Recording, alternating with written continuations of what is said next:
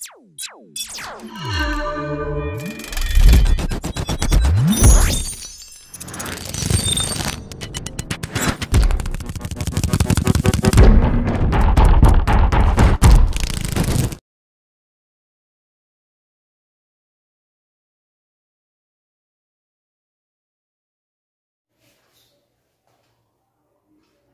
today's video, we are going to learn the product method.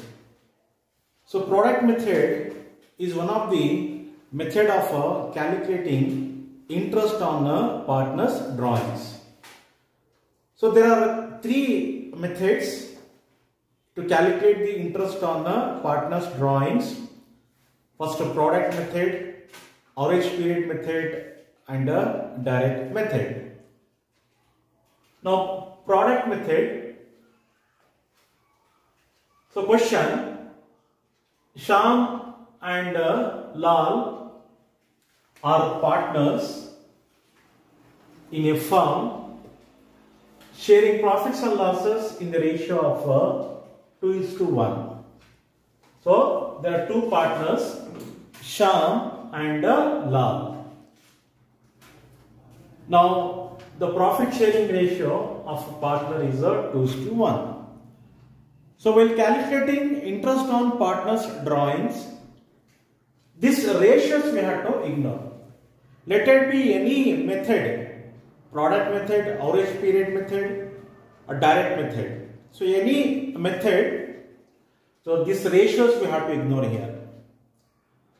So Mr. Sham has withdrawn the following amounts for the year ending 31st March 2019. So this is will be the year end here. Now the withdrawals, first term he has taken on 1 4 rupees 5000 for personal use. Again on 30th 9 2018 for rupees 4000 and next uh, on 1 11 2018 rupees 3000 and uh, on 31st March 2019 rupees 2000. So in a year during the year he has withdrawn 1 2 3 4 withdrawals. So 4 withdrawals that is a different date on a different amount. Now on different date on different amount so that calculation that is calculation of interest on drawings we can find we can find it only under the a product method. Now four withdrawals. So calculate the interest on the Sham's drawings at 10% per annum under a product method. If any partner, if you withdraw the amount uh, from the partnership from business, he has to pay the interest here. That interest, calculation of uh, interest can be done with the help of uh, three method. So in that product method is one of the method of uh, calculating the interest on the drawings. Now solution first we have to find out the total product. First uh, we have to find out the total product. So total product can be find out with the help of uh, this table that is date column so in date column, you are going to enter the dates here. Next amount column.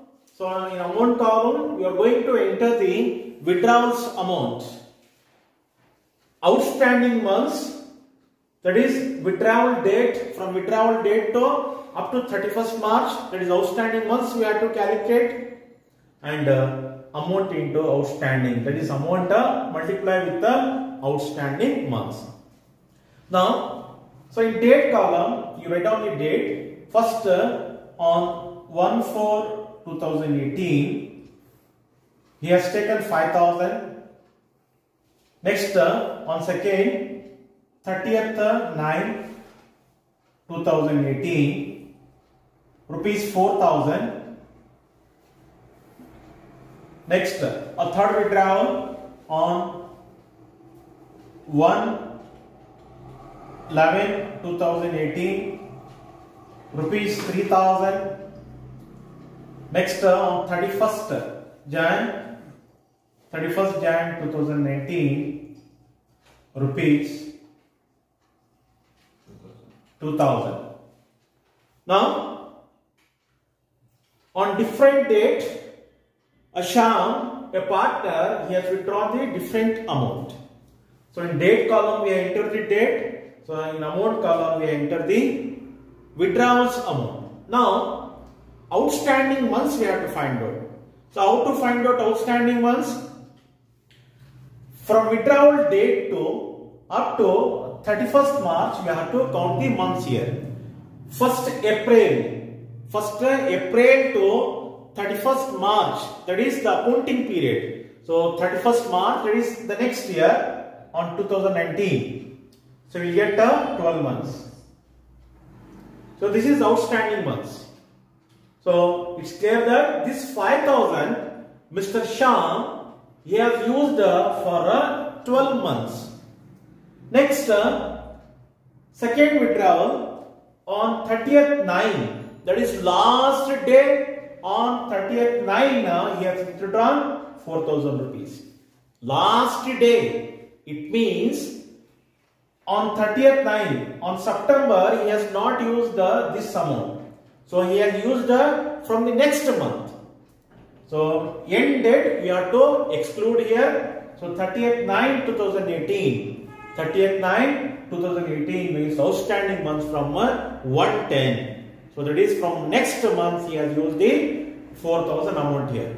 From 110 that is 10 October, November, December, January, February, March.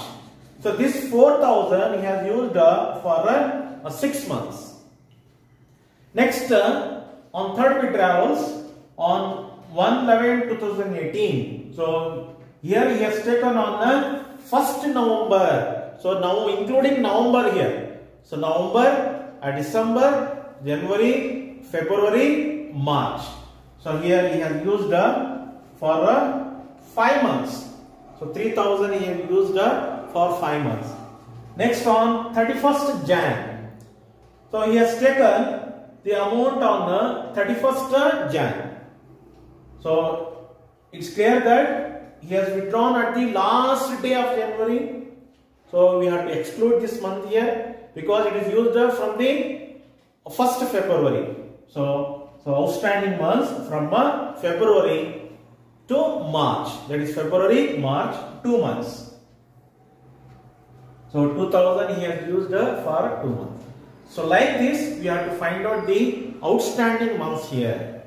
Now amount into outstanding. Amount into outstanding 5000 into 12 60,000. Next 4000 into 6 Next 3000 into 5 Next uh, 2000 into 2 4000 Now so total so total product so like this we have to multiply outstanding months that is amount into outstanding months.